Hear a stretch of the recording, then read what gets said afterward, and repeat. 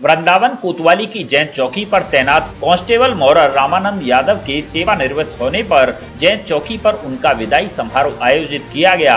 चौकी प्रभारी अरविंद सिंह समेत सभी पुलिस कर्मियों ने सेवानिवृत्त रामनंद यादव का पटका पगड़ी पहनाकर और फूलमाला पहनाकर सम्मान किया। इस मौके पर चौकी प्रभारी अरविंद सिंह ने कहा कि कांस्टेबल मोरर रामानंद यादव ने पुलिस विभाग में कड़ी मेहनत और लगन से काम किया है। कोरोना महामारी के दौरान जब जैत पुलिस इस संक्रमण की चपेट में आई तो रामनंद यादव ने पूरी कर्तव्य निष्ठा के साथ अपनी ड्यूटी की, जिसे कभी भुलाया नहीं जा सकता।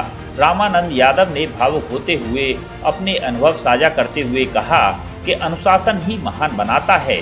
मिलजुल कर काम करने से सफलता मिलती है।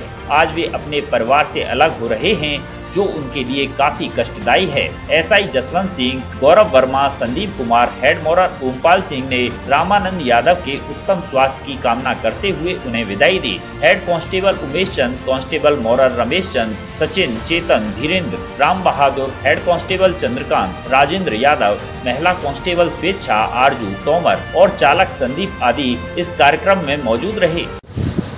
दादा पुलिस विभाग में आज आप सेवानिवृत्त हुए किस तरह का अनुभव आपका रहा? जाने के समय कष्ट तो होता ही है। हम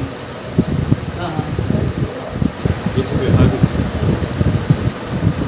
काफ़ी साथियों में रहे। सबका साथ आज भी सुविधा है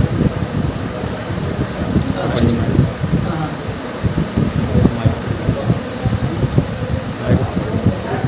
बहुत बड़ा कष्ट महसूस हो रहा है क्या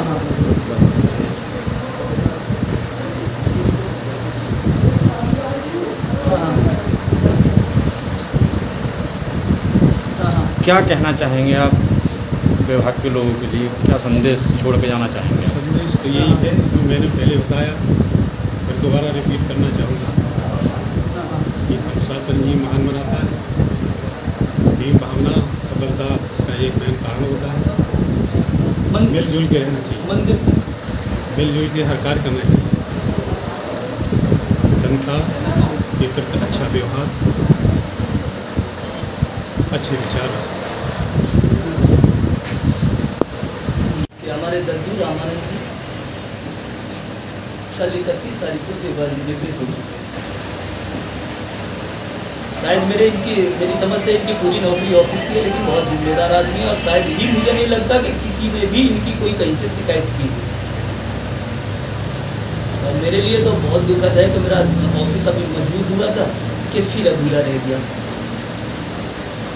दद्दू का व्यवहार, कार्य करने का तरीका काफ़ी अच्छा और सबसे बड़ी बात यह है कि दद्दू अभी स्वस्थ है। अगर विभाग चाहे तो इनसे दस साल और काम ले सकता है। लेकिन हमारी मजबूरी है कि हम एक बॉन्ड में हैं खुशी भी है कि वो स्वस्थ हो, बिल्कुल एकदम शरीर से घर जा रहे हैं। कोरोना टाइम में भी आपने देखा होगा कि सब बीमार हो गए थे। अकेले ऑफ़िस चलाया पूरा चुनाव कराया, सब कुछ मतलब बहुत अच्छा। किसी से कोई वो नहीं। दुख है जब अपने बीच से कोई जाता है, लेकिन खुशी होती है कि वो स्वस्थ है और अच्छे परिवार से दद्दू के बच्चे भी, मैंने पूछा था तो बता रहे थे सभी ठीक है। बेटी की भी शादी कर दी है, दामाद भी सब इंस्पेक्टर है C I S F C F की में कहा।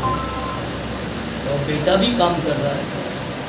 स्वस्थ हैं अच्छा है, परिवार है, ठीक है, बच्चे कामयाब हैं तो हमारे लिए बहुत खुशी की बात होती है। लेकिन तो पेंशन जाने के बाद भी काफ़ी अच्छा नहीं लगता।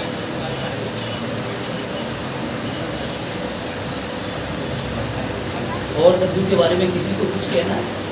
तो भैया ये ठीक करके अपनी बताएँ और दद्दू को खुशहाल मतलब खुशी खुशी विदा करें। और दद्दू से उम्मीद करेंगे अगर हमसे संबंधित कभी कोई काम पड़े तो निसंकोच कोई दिक्कत नहीं है हम लोग करते हैं और करेंगे।